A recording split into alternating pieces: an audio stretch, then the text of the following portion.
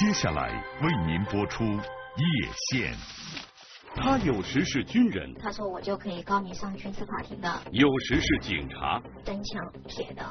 靠这些道具，他如何行走于多人之间？过几天他就会说：“哎，我想你了。”女儿的户口要要钱，买车要钱。五个女人中有三个为他生育，上了两次床，结果他就怀上小孩了。其中一个被他卖出。我就一定要把真情拿下，来真情的。起来，欢迎收看本期夜线。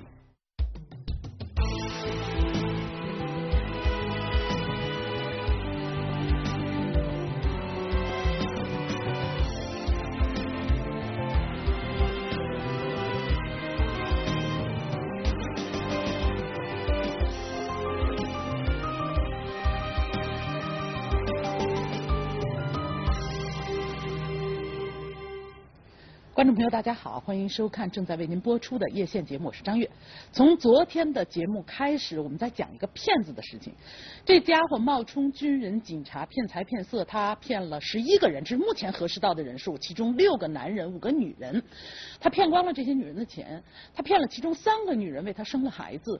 即使为他生了孩子，他会对女人说：“因为你是未婚先孕，所以我得交纳罚款，你还得再给我一笔钱。”然后扭头会把孩子卖掉，再得一笔钱。就这么。一个丧心病狂的骗子，他其貌不扬，文化水平不高，他骗那些女人的说辞几乎是胡言乱语，而他怎么就会屡屡得手，最终又是如何落入法网的呢？我们接着看。还原，梳理来龙去脉。三十八岁的李某虽然已婚有孩子，但两年中他在与刘斌的交往中被骗走二十五万，甚至不惜让哥哥去借高利贷给刘斌。而当他凑不到钱来还高利贷时，哥哥气得差点失去理智。我我借不到钱，然后我哥就骂我嘛，他说了，那么多人。都不会上当受骗，然后年前我怎么劝你就不要上当受骗，不要上当受骗，你就说了，你就说相信相信，你说你现在把我害成这样怎么办吧？我说老哥，如果说不是因为欠你的钱，我现在我可能都已经不活了。他说你就应该死了。我当时挂了电话，我就想，那我还不如死了呢。紧接着的一个电话，才避免他做出冲动的行为。我哥可能感觉我这个话，他这个话说的重了，我可能会承担不了。他又打电话给我，他说了，哦，我当时只是生气，讲你一下，你不要在意。啊，我们还年轻，这个钱可以慢慢赚回来。但是命就有一次，我们又，我们家又没有其他人了嘛，就有我们两个。他说了，我我不想因为这个十几万块钱把我妹妹没了。朋友眼中喜欢穿白裙子、心地单纯的李某是怎么上了刘斌的钩，又一步一步的坠入深渊的呢？一年前，他们相识于一个朋友的聚会，相互留下了 QQ 号码，然后聊起天来。你是说他有个弟弟去世了，然后怎么怎么不好吗？就是把他那些比较优美的文章写出来。我这个人有一个特点。就是说跟人聊天的话，我要先看这个人有没有内涵啊，或者说有没有文采。当时他这个文章写的，就是说的确是，我不知道是他写的还是别人写的，倒是蛮深情的，很有文采嘛。我就感觉哦，这个人还就是说还能聊几句。很快，他们的聊天内容超出了普通朋友的范畴。有的时候不想聊了，他还在聊聊聊，然后有的时候过几天他就会说。哎，我我想你了。我当时就是说，我这个人，我感觉怎么那么好玩啊？我说了，哦，有的时候我就会开玩笑，我说了，哦，那你是不是有病了？我禽流感蛮严重的，你去测一下体温嘛。然后就这样了。后来陆陆续续，刚开始的时候，我真的是也没在意过他，因为我感觉我这人是思想还是比较保守的嘛。我这人从就只结婚就我老公一个人嘛，所以说不管我们中间吵架或者是干什么，我都是从来没有对其他的人在意过。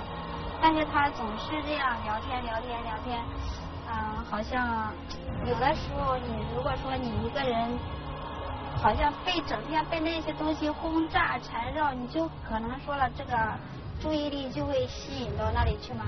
他说的是他结婚了嘛，啊，因为他常年在部队，他老婆在家嘛，就是乱搞男女关系嘛。然后他老婆就一就是说跟网友私奔了，就是丢在家，把小孩丢在家丢了几年才回来的。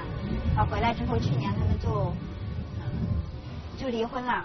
而关于对方的身份，在交流的过程中，刘斌说自己是警察。啊，穿的那个特警服，而且腰里有手枪。嗯，他那个车里面有警棒，有对讲机，还有手铐。这些东西包括他车里面还有红外线布控。但奇怪的是，李小姐并没有亲眼见过他去派出所上班。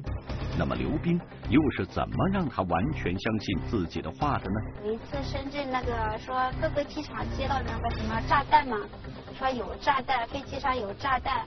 当时我们因为不不知道这个消息嘛，他就是有一次他请我吃饭的时候，他跟我说。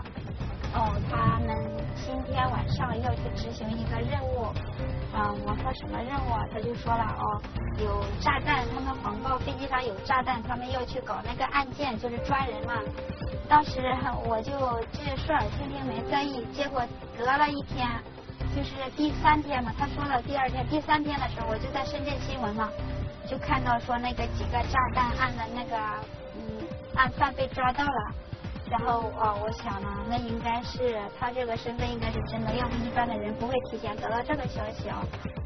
当李某开始完全信任刘斌后，他们的关系很快加深了。他好像记得我生日，他就从那边回来了，半夜回来跑回来，他说的是半夜嘛，然后就说是特地为我生日赶回来了，马不停蹄嘛，中间就是有多么辛苦，站了多少个小时站回来的嘛。第二天还是第三天还要赶回去嘛，实际上是有点感动了。感动之后，李某很快面对麻烦了。刘斌说，因为要赶回来给他过生日，他受到了部队的处分。就是因为那一次我过生日，他请假回来，啊，中间说有人举报他了，说他违纪，严重违纪嘛，说是啊，他拿到那个两张支票，两张支票说的是检察院的给他冻结了嘛。检察院冻结，所以说他的工作就是说暂时没有嗯工资发放嘛，三千块钱的生活补助给他取消了，取消了就没钱了嘛，说家里还要养小孩，老人家还怎么嘛，然后就说嗯他刷了信用卡，刷了信用卡还钱没钱嘛，就叫我帮他还帮他还钱，然后帮他还了一千块钱的信用卡，他说哦我可以帮你，我可以给你写个借条。当时我想想一千多块钱啊，我说算了，一千多块钱啊，你如果你给我了，如果你给我了，那就给我了。我说了，如果不给我的话，一千多块钱看清一个人的面目，那也无所谓。我说不用要了，这个借条我没拿吗。然而李某没有想到，这一千块钱仅仅是个开始，接下来他将面临着不可抗拒的深渊。很快，刘斌又有了新的要钱的理由。发信息没发了几条，他说好了哈，给我发信息，被那个什么纠察，就是嗯看管他的人发现了，啊把手机摔了，说他有违纪了，怎么怎么，啊就说说前面好不容易好不容易把那个东西搞好了啊，嗯现在又违纪了，又要花钱去搞，要花三万多少钱啊？刘斌说他银行有四百万的存款，现在只是被冻结了。说了他银行解冻通知单都给他撕了，我儿子生病了。我说了，我要用钱，我不可能说了。我说了，我所有的事情都可以不管，但是我儿子不可能不管。我说我儿子生病了，我要要钱。然后他就说今天说啊，说啊解冻通知单就是等到他回去就就那个去银行办嘛，一直这样说。好，等到年前我等等等等等等，我怎么等都等不回来这个钱。然后当时我心想，哎算了，这钱我不要了，我今后再也不要跟这个人联系了。然而。没过多久，刘斌的一番甜言蜜语又让李某心软了。他说他深爱着李某，并且想跟他结婚。我学历蛮高的，他就是说呢，想让我去说照顾小孩读书。他就说，因为我那时候我们也准备家庭那个嘛，他就说，嗯，把我的身份证、复印件拿走和照片拿走。他说要申请结婚。我说当时我跟他说，我说这个东西不可能的。我说因为我有家庭啊，我不可能去犯重婚罪。他说这个东西不会的。他说了，给你拿去只是申请，等到申请到审批啊，他说了还今年申申请到明年审批，最起码有十个月的时间。那十个月的时间，什么事情都可以搞定的。他说了，我说了还有一条，我说了就是说我们两个也没了解那么多，万一有一天我感觉你不合适，或者你感觉我不合适，他说我就搏一次，你不喜欢我啊，你感觉我不合适，这个东西就当作废，我就当赌输了。这番话让李某放心了，然而他完全没有想到这是一个更大的陷阱。年前的时候他就跟我说，他说今年不知道怎么回事，军婚审批一下子就提前了。他说了，嗯，发到你们地方去，啊，地方回地方回复的文件是你已婚，说他是严重违反军人什么条例嘛，就说了弄虚作假，跟跟已婚的那个来申请，就说了要处理他，要严重处理他，严重处理他。当时说，嗯，要要花钱，我说我没钱了，然后他就反正是说了软的又说硬的，说了硬的又说软的，你看我为了你。啊，就是说把自己的前程也毁了，自自毁前程，就是因为我他犯了很多错，导致他这些结果。就是说你你就是说，他说了，哪怕你求求人啊，就是借一借啊，你帮我把这个难关过去，哪怕是说了我只要说了保住我这个职位啊，保住我这个职位，我把我的那个钱拿回来，我还你，然后我们两个什么互不相干都可以。他当时说了十五万块钱，我说了你打死我也没有那么多。然后他是后来说啊，他们就是就是说警备司令部那边的办公室啊，帮他凑了两万，叫我给他凑够十三万。我说我没有。然后我哥好不容易找人拿了高利息给他借了七万块。我哥当时我哥的同学说这是一个骗局，我就直接说我说我说我哥的同学说这是一个假军人诈骗案。他说。假军人诈骗案，他说我那么多证件，什么给你你没看过，手枪手铐什么包括什么你没看过，说再说了，他说了骗子再怎么骗，他骗你有的钱，嗯，他可能说你有钱，他骗骗你，他不可能说骗你去借钱，他不可能骗你去借高，当时他跟我说高利贷，哪怕是说呢拿回来一万还人家两万的利息都都他都他都愿意承担，所以说了。就是这样，我哥给他又借了七万块钱，大年二十九。就这样，李某借高利贷把钱给了刘斌。然而，等待他的是什么呢？过年之后，他还一直不回来。然后我当时就说：“我说了，我哥的钱，这个等的是要人命的钱。我说了，你一定要给。”然后他就说：“今天回来，明天回来。”有一天就给我发了一个邮件，说骂我。说我，你天天以我欠你钱的形式来逼着了我回去跟你联系，那从此之后我不会跟你联系了。嗯，我回来了就给你钱，我除了钱我什么都不欠你了。我为你付出了那么多的代价，我为你付出了那么多啊！你现在是这样的，然后就骂我骂的很难听的，说除了钱我什么都不欠你了。我我哥借了十一万，十一万是我哥借的，然后我哥还给了我五万多块钱。这光我哥这里就有十六万多块钱，我要还，而且这笔钱是没人知道的，我自己要全部全部自己承担下来。像我这么善良的人，心里很会替别人着想，我估计以后我不会了。以前的话，我走在大街上看见老年的乞丐啊，或者是小孩啊，我都会不管是他真的真的还是假的，我都会给他一点钱，因为我感觉我看到他的残疾，看到他的难处。但是现在，谁走在我面前？我我感觉我都要考虑考虑，不管是你真的有困难还是真的，我都要考虑考虑的，因为我不知道你是骗了还是真的。我感觉这样的话，善良的人真的是会越来越少。在警方的努力下，先后有多人来报案，他们都是被刘斌骗走了钱财的。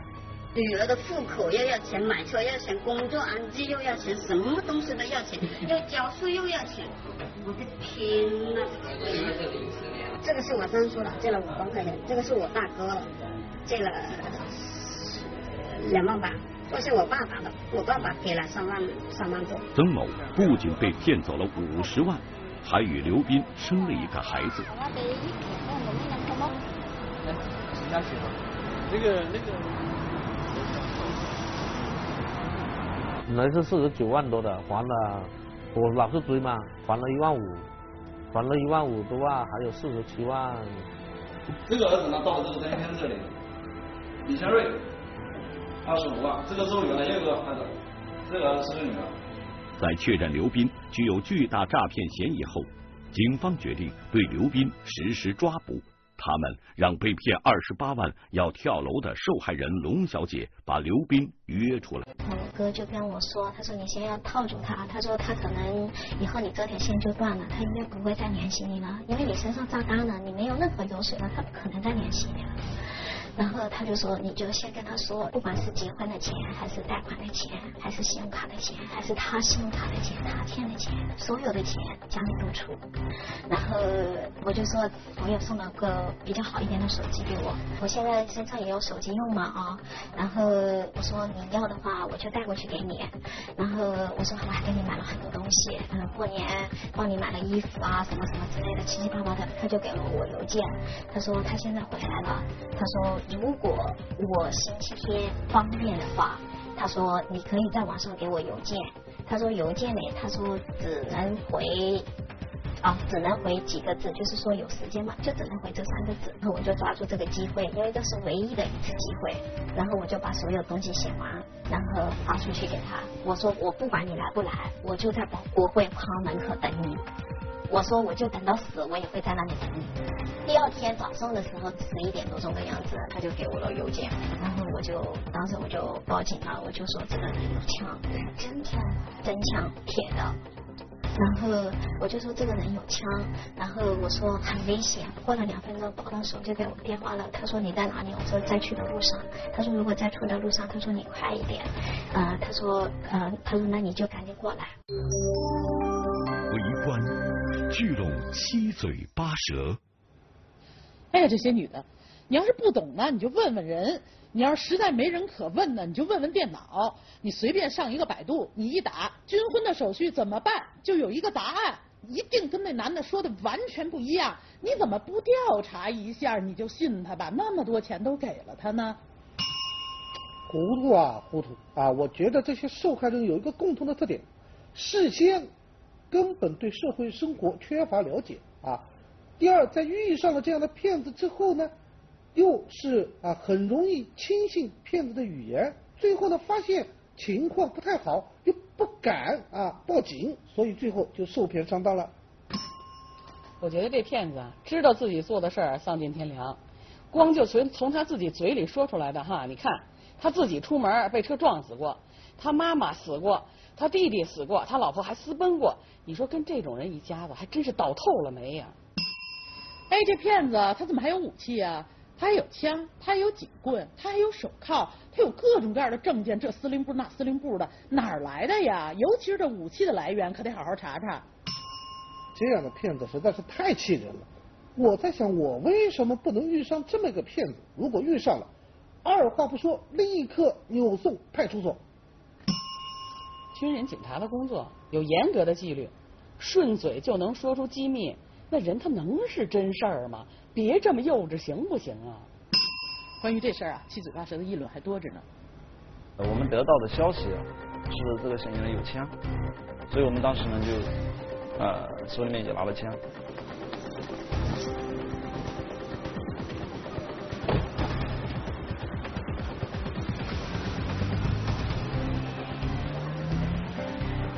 刘斌又打电话过来了，他说你为什么还没去开房？他说你在弄什么？怎么要这么久？我说我刚刚在吃饭，我说我好饿啊，又好累啊。然后他就说，他说你，他说那你快一点啊，快一点，马上去开房啊。他说我马上就到了。如果他跳槽户，可能后来他跑不掉，这边有马路，我们就要是不是这些房？我们在这些房，他过来开门的时候，最好在开门的时候我们打开门，实时抓捕。我们房间里面也安排了两个人，外面楼道也安排了有人。呃，因为之前我们已经看过嫌疑人这个照片了，等嫌疑人一出现的时候，我们就可以控，就可以确定是他。不到五分钟，刘斌就过来敲门了。我问了很多遍，我说你是谁？我说你是谁？然后他一直没有吭声。我说你到底是谁？还是没有吭声。我说你说不说你是谁？还是没有吭声。然后但是。警察就叫我开门好了，他说应该没有什么问题，然后开门他就进来。别动，警察别动，警察别动，警察不许动。但是抓他的时候，他一点反应都没有。他一点惊愕，一点害怕，一点什么都没有，他反正就感觉好像很正常，很平静，好像好像根本就跟他没关系一样的。所以我们也是比较诧异的，因为刘斌这个人个子不高，长得也是其貌不扬，看上去文化程度也是不是很高。这样的话，因为事后我们了解到也是初中文化，就是在街上可能说就是农民工这个感觉就应该就是一个普通的打工的。紧接着，警察在刘斌居住的房子里进行了搜查，而搜查的结果让大家十分震惊。搜索那些东西，摆了整整一个床上全摆满，假印章二十多个，呃，各种政府文件有几十份，营业执照有十几张，还有那肩章啊，部队的肩章，还有我们这个警察的监章啊、军官证啊、警察证啊等等。这印章就是有的是人民市政府的，呃，嗯，法院的，啊，中级人民法院的，啊，还有我甚至还有我们自己派出所的章公章，那么二十几枚公章。以前也见过这个冒充警察的，但是人家仅仅是就是说就是冒充一个警察，只有一个证件，当时没见过这么多的，可能也觉得很奇怪，说这个人到底是什么来头，能有这么多东西。我你现在要问的，我都都老实交代。我现在我今天把所有的事我都交代出来，我就是想给我自己一个解脱，也给大家一个解脱。我也在背负很多年了，我也我说真的，嗯，哎，他们他们也伤心了，我也累了，我也想解脱了。我就是把我补给啊，把我枪毙啊，我真的认命了，我真的认命了。手铐是从哪里弄的？在网上买的。网上买的？嗯。网上有卖这个的吗？有啊。什么网啊？在哪怎么买啊？淘宝网。那你的手枪呢？我没手枪，火机打火机。派出所的同事都看到了，他们的同事我都给了，他们都看过，我还问他要不要，我说你拿回去给小孩子嘛。为了找到更多的证据，警方从深圳赶到湖南耒阳刘斌的老家，在那里，他们见到了他的父亲。是不是部队长实习啊？是不是？我们想问一下，就是刘斌。他在哪个市里面，或者是在这个湖南境内有没有买房子？不是没有没有。是是没有还是你不清楚？没有，没有没有。那在这个村里面，他有没有就是你们家有没有建其他楼呢？没有，我我就在这里。啊，你就住这块？啊啊啊啊！刘斌在老家曾与一人组织家庭，并有三个孩子。他们在同一天补办了结婚证，又办了离婚手续。在看守所里，刘斌接受采访时这样讲述他为什么会冒充军人和警察。如果说我开始说呃去用军装啊，呃这这些东西啊，呃或者去穿出去，我完全是因为那一年我家里呢，嗯被一个。也是当过兵的，把我家里的连续性打了四次，因为我家里呢是一个不是耒阳本地的原始的，不是耒阳本地的，是一个嗯，就是爷爷手上做生意还是移民呢，我们就不懂不懂了。嗯，移到西县一个地方去了，我们可能说算算是一个群弱势群体，不是跟他们同一个姓的。嗯，可能在这个上面呢，我可能有一点就是什么呢，就是跟家人啊。跟家里的在家里呢，在当地呢，就是留一个呃印象，就好像我在外面呢，也是当兵的一样的，就家那家里的人就不会再去欺欺负家里的，就完全是抱着这个心态。而关于为什么要去骗女性，他是这样说的：，如果我今天走到这一步，如果不是为了那一件事，还有后面我自己的前妻，因为在感情上面，包括我自己的一个女朋友伤害过我那么严重的话，我不可能会走到今天这一步。那些东西因为是女朋友的，是过去的东西，我不愿意去说，因为再说出来的话也是一个痛。反正我付出的东西，我今天我这段时间来到牢房也有，到今天就有一个月零四天了。我也想了很多很多，我想起我自己原来是一个什么样的，我今天会走到今天这一步，到底是什么原因引起的？我也想，这不绝有自己呃家里被欺负的呃那一种心态在里面，也有自己的一种虚荣心在里面。当然也有可能这样说，也有后面我无法去把握自己的婚姻这点上面，可能会对我的心理会造成一种或者扭曲的心态，也有的一些在里面。因为我就是什么，啊，找一个找一个这样找一个，哦，不觉得不行，因为他好多人呢，嗯，有的跟我的前妻呢是重复的走一条同一条路，啊，还有的呢就跟后面的跟我的女朋友是也走的是同一条路，我总觉得这样的婚姻呢不是我想要的，所以我就的确我就有转移的方式。如果我不是军人和警和警察的话，你们根本不可能会喜欢我的。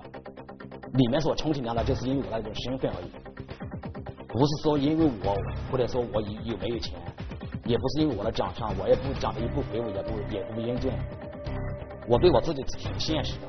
在看守所里的刘斌将面临着诈骗、重婚、伪造公文等多项罪名的指控。后悔也好，内疚也好，都无济于事了，因为事情已经发生了。啊，我只希望呢，就是，呃，在这些所所有的伤害的呃的人们里面，都希望他们在今后的人生路上呢，能够更好的啊，嗯，学会了保护自己。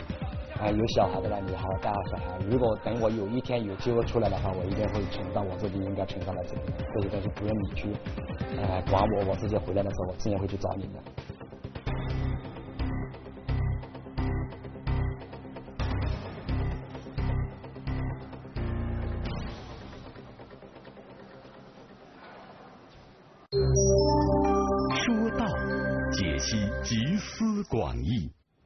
观众朋友正在播出《夜线》，我们今天继续在聊一个伪装成军警的骗子的事情。到场嘉宾，媒体评论人黄飞爵博士，情感问题专家毕金怡女士，欢迎两位。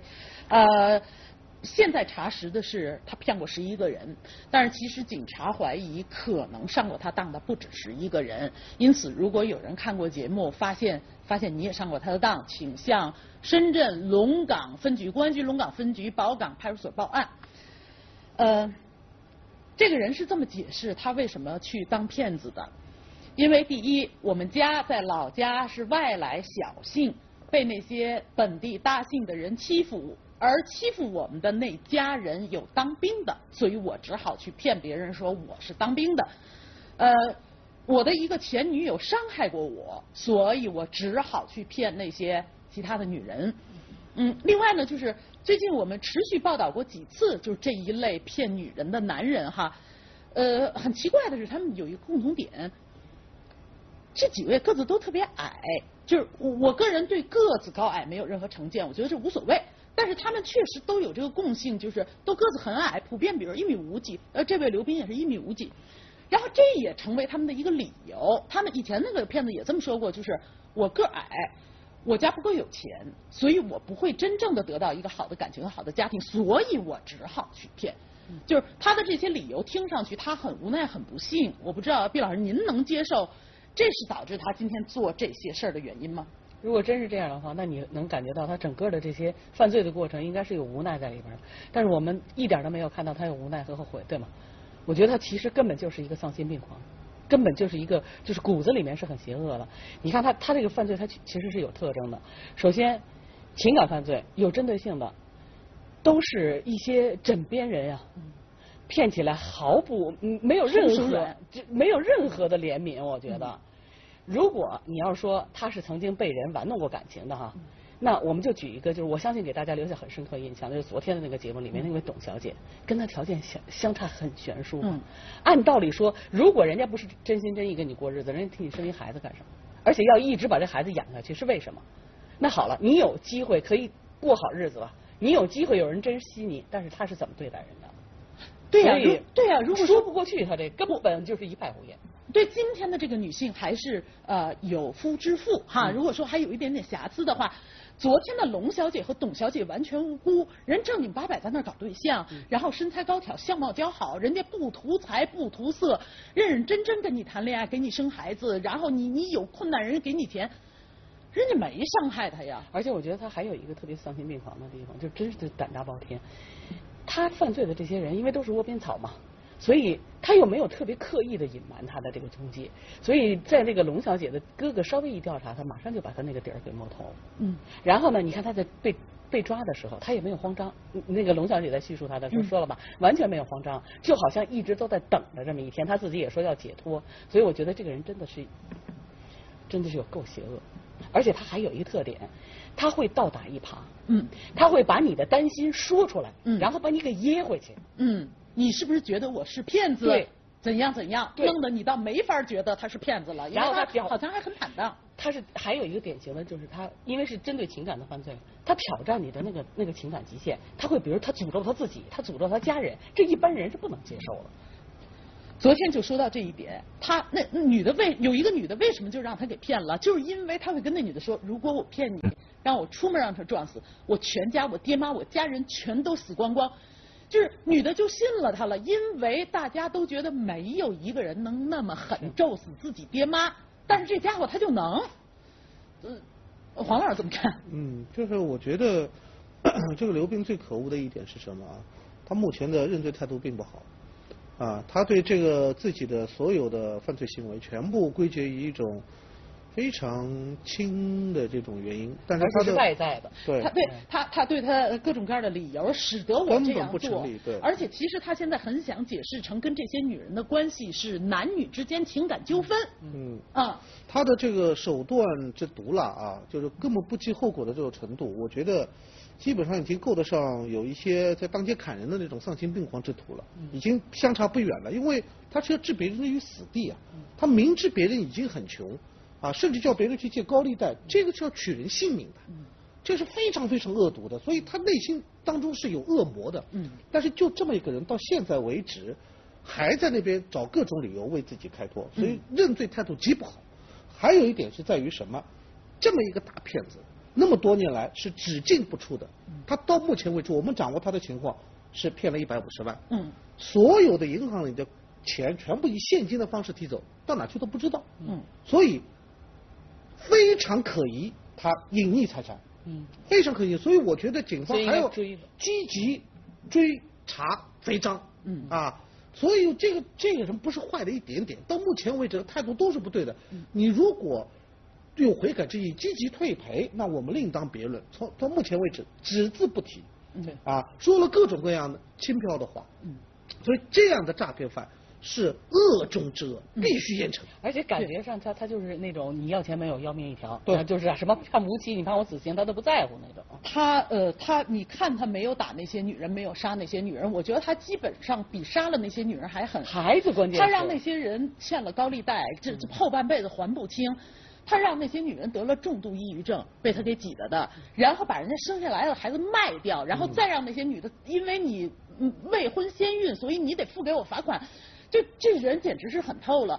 而我也怀疑他的财产，现在警方查又查不到，所有的卡是空的，提空了，你不知道他把钱给弄到哪儿去了。呃，去他老家查，他爹妈说没有给我们，我们不知道有没有给他们。但是现在你追不到，这些被害人拿不回来一点那个损失的赔偿，真的是很不幸。